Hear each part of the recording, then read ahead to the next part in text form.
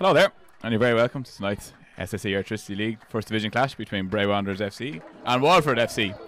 Even just there, win the free kick, get on it straight away, get the ball moving again, try to stretch this Bray team. So it's Killian Cantwell out to Connor Parsons on the left hand side. He's up against Max Murphy. A Couple of different turns trying to get away from his man. Murphy sticks to the task well. But now Parsons gets away. Can he get a cross in?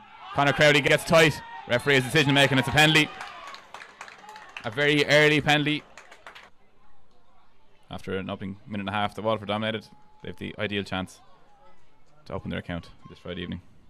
It's going to be Alex Moody. Seeking what he can do. Cresswell goes left. Moody went the right way, but it's 1 0 for Waterford.